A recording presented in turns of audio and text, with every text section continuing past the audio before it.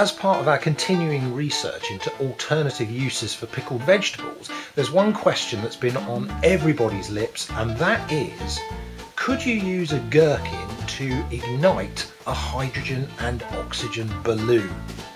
Well, valid question, but there's only one way to find out. Right, so here's the fuse that we've actually come up with. It's a rubber bung which fits into the base of the balloon. This is a two foot round balloon, so it's quite big. We've got two wires that go through the bung, one connected to the live and one connected to the neutral because we're going to use mains AC current to uh, set this thing off.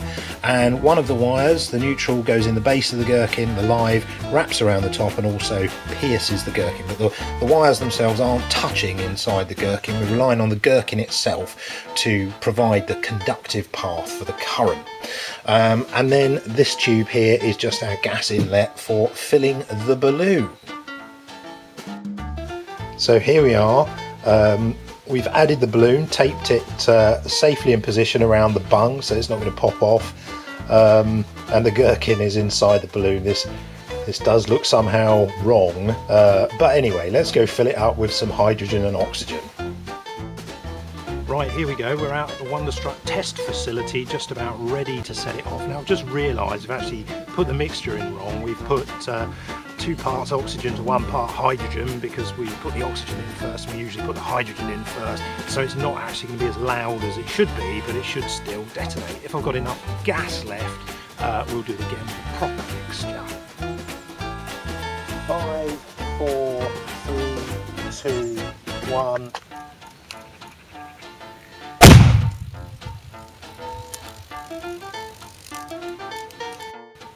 Well, I think that was still quite loud, but let's do it again anyway.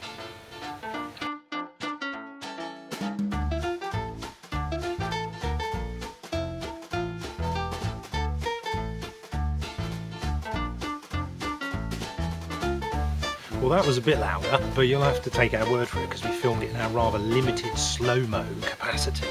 Um, but there you go, that's the answer to our question. Yes, you can use a gherkin to ignite a hydrogen and oxygen balloon. And you know, we can't help thinking that no one else in the world may have ever done that before.